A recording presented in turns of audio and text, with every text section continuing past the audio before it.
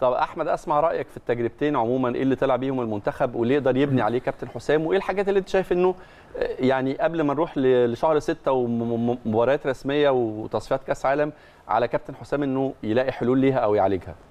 بص أحمد أنا خلينا نتفق إن التجربة طبعا تجربة مفيدة جدا لأن آه، كابتن حسام حسن خاض ال- الدورة ديت الدولية وهو عارف إن هو لسه ما حطش إيديه على القوام الأساسي. آه، يعني كبداية طبعا شايف إن البداية في مباراة نيوزيلندا قدم مباراة كويسة ومتوسطة المستوى.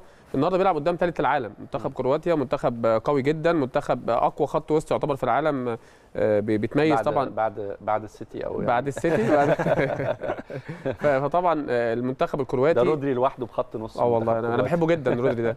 فبشوف إن المنتخب ال- المصري لأ في طبعا نتائج إيجابية جدا وكابتن حسام حسن اعتمد اعتمد في, ال- في بالأخص في ال- في البطوله الودية دي على التجانس في لعيب النادي الاهلي وده كان واضح جدا في, في مم. اختياراته وكمان في التشكيل الأساسي اللي دايما كان بيبدأ بيه كان بيبقى فيه دايما آه، قوام ستة أو سبعة لاعبين من لعيبة النادي الاهلي في ال- في الملعب ماتش النهارده لولا اصابه بالظبط النهارده كان خمس لاعبين المباراة اللي. فاتت كان ستة لولا إصابة إمام عاشور وإصابة امام عاشور مهمة جدا يعني آه، غيابه مؤثرة جدا أنا كنت جدا خايف جدا النهارده على مروان عطية مثلا طبعاً. مشكلة في نص الملعب في ماتش يعني سنة. المشكلة إن في لعيبة كده في منتخب مصر أو أو, في مصر عامة ملاش ملاش بديل في ال top form زي مروان عطية وزي إمام عاشور وزي عبد المنعم. لعيبة آه، مميزة جدا. آه، البدائل بتاعتها مش موجودة حاليا جاهزة في الدوري المصري. عندنا مشاكل أو بعض الأزمات في بعض المراكز في الدوري. واعتمد على خبرات وتألق المحترفين في الخط الهجومي مرموش وتريزيجيه ومصطفى محمد. وده باين جدا في التشكيل آه، الأساسي اللي كان بيبدأ بيه. مصطفى فرقت معانا قوي. طبعاً، فرقت لو جداً كانت- لأن- لو كانت اتنين كان ممكن تقلب سيناريو بالظبط. المنتخبات الكبيرة دي آه،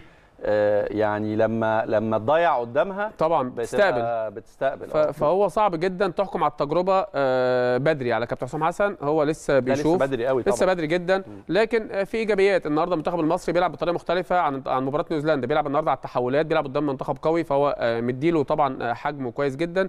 لكن آه، كمجمل لا المنتخب المصري آه، طلع بإيجابيات. النهارده أحرز هدفين آه، يعني بشوف إن رامي ربيعة وعبد المنعم وهدفين من كرات ثابتة. فدي طبعا في إيجابيات. لكن مع مع بقية ال- المباريات وقبل تصفيات كأس العالم أعتقد هيبدأ برضه في لعيبه تدخل ده بنسبة كبيرة. وأنا بشوف يعني وجهة نظر إن حجازي من اللعيبة الكبار حتى لو ما كانش بيقدم أفضل مستوياته في آه، كأس الأمم الأفريقية لكن يظل لعيب كبير.